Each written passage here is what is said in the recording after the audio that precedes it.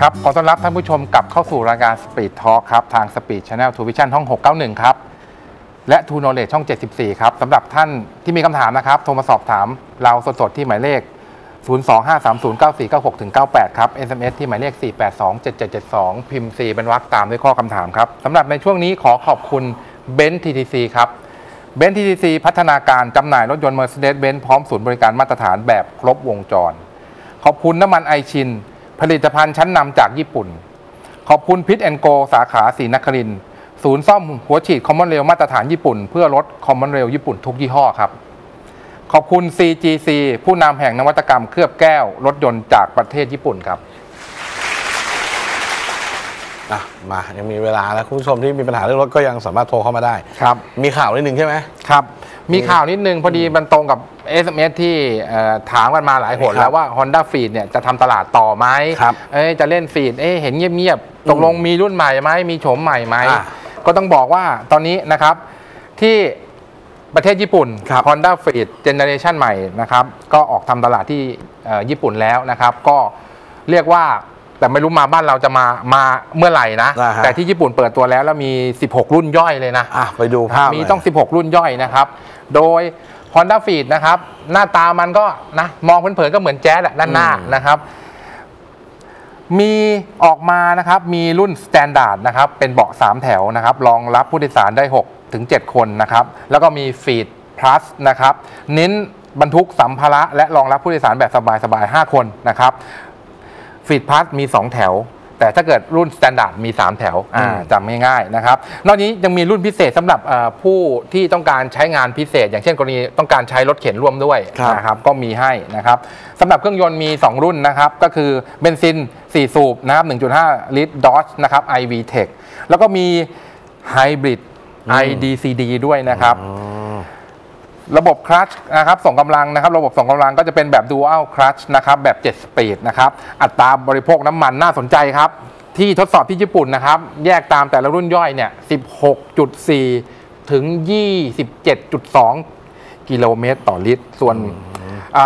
ระบบความปลอดภัยนะครับ Honda Sensing ครับช่วยเหลือผู้ขับขี่นะครับไม่ว่าจะเป็นการรักษาระบบช่องจราจรนะครับ ระบบ Cruise Control แบบปรับความเร็วได้ ระบบช่วยเบรกฉุกเฉินนะครับ แล้วก็โครงสร้างตัวถังเป็นเหล็กกล้าทนทานนะครับ ราคาที่ญี่ปุ่นเนี่ยผมไม่รู้ว่าราคาเมืองไทยเป็นเท่าไหร่ แต่ที่ที่ญี่ปุ่นเปิดตัวราคาถูกสุดอยู่ที่1ล้าน8แสน8หมื่นเยนจนถึง2ล้าน7แสน4หมื่น8พันนะครับ เย็นเยนนะครับอืม สีก็นะ ต้องยอมรับว่าเน้นสีสดใสนะสีครับ มันโดนมากเลยนะนะครับ สีเมื่อกี้นี้เขียวปิดเลยนะครับ เขียวเขาเรียกเอ่อเหลืองเหลืองลายนะอ่ลายลายหรือนะไม่ครับเป็นออกเขาเรียกอะไรนะมันสีอะไรเลมอนเหรออ่าอ่านะครับปนะครับมาณก็ต้องต้องยอมรับว่าในตลาดญี่ปุ่นเนี่ยฟีดมันเป็นรถที่ตอบโจทย์การใช้งานของเขานะครับ คือมันขนคนได้เยอะและรถมันไม่ใหญ่จนเกินไปอืม นะครับ มันกำลังดีอะต้องบอกว่ามันคือถ้ามัน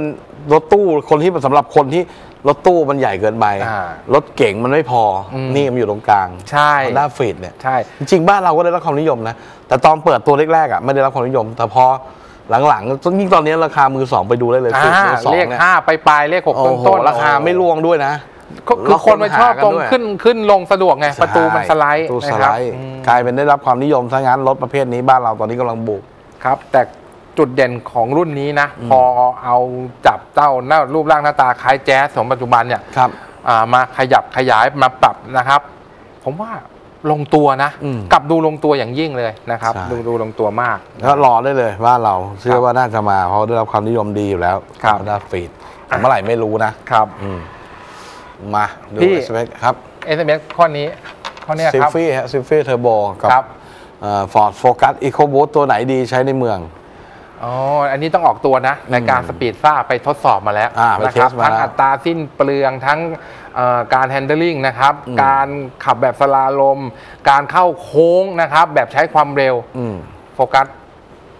ขับสนุกกว่า เยอะครับ ก็ตามที่เขาว่ากันก็เป็นอย่างนั้นครับผมถึง Sylphy จะเคลมแรงม้าว่า โอ้โห เยอะกว่า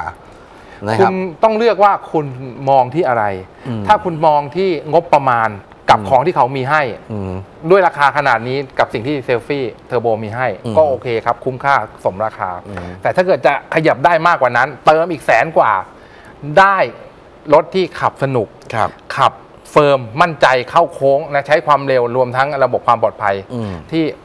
เรียกเวลาขับแล้วได้ feel รถยุโรปนะครับมันคือรถยุโรปจริงๆนะ Focus EcoBoost แต่มันช่วงล่างเขาคม ใช่ครับ ขับแล้วรู้สึก firm นะครับส่วน Sylphy ก็ ยังเป็นยังไงก็ยังเป็น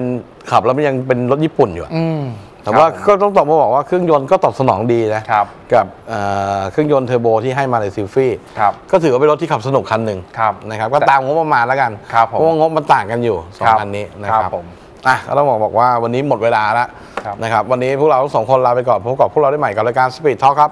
รายการสดทุกวันจันทร์ถึงวันศุกร์ครับวันนี้นอนหลับฝันดีราตรีสวัสดิ์สวัสดีครับ